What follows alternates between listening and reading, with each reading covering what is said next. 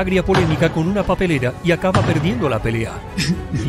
Desde nuestros estudios centrales en Pafos, Chipre, para toda la comunidad hispanohablante de Georgia,